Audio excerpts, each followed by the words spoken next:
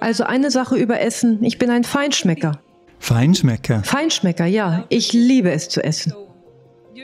Also während Dreharbeiten, ja, da vermeide ich es. Aber wenn ich Pausen mache, dann nehme ich das Essen in Beschlag. Aber ich bin auch tierlieb. Oh, deshalb isst du sie also. Nein, nicht wirklich.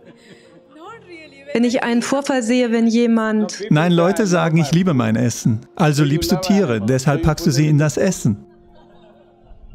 Nein, ich habe oft versucht, zum Beispiel, okay, ich muss aufhören, Fleisch zu essen. Ich habe das auch probiert. Deshalb habe ich mich für eine Woche oder zehn Tage von Fleisch ferngehalten. Aber sobald ich jemanden sehe, der Fleisch isst, denke ich, okay, ab nächsten Monat. Ich weiß nicht, wie komme ich da heraus? Weil natürlich, auch ich habe zwei Haustiere zu Hause.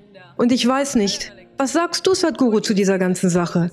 Dieses nicht vegetarisch und Fleisch essen. Wann hast du vor, die Haustiere zu essen? nein. nein, nein. Die sind wie meine Kinder. Das sagen sie alle. Sogar ich habe Leute gesehen, die sich mit Hühnern sehr nett unterhalten haben. Und nächste Woche essen sie sie auf.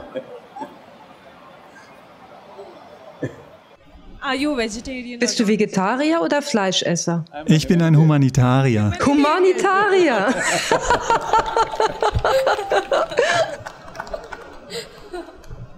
Say, today there is substantial documentation to show Schau, heute gibt es umfangreiche Dokumentation, die zeigt, dass Pflanzen genauso empfindlich sind wie jedes andere Lebewesen.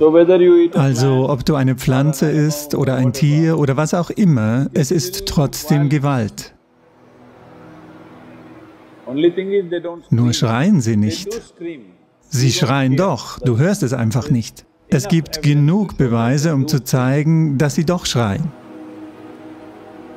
It has been recorded like this, that if uh, es wurde so dokumentiert, dass, nehmen wir an, ein Tier kommt,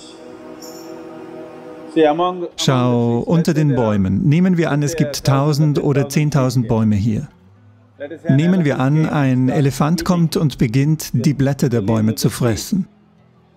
Sofort wird dieser Baum Nachrichten zu allen Artgenossen schicken, dass er gefressen wird von was auch immer.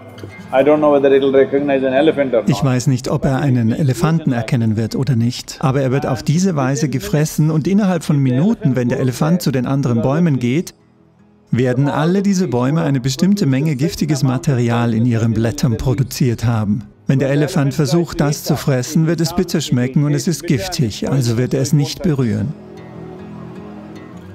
Unter ihresgleichen gibt es also so viel Feingefühl.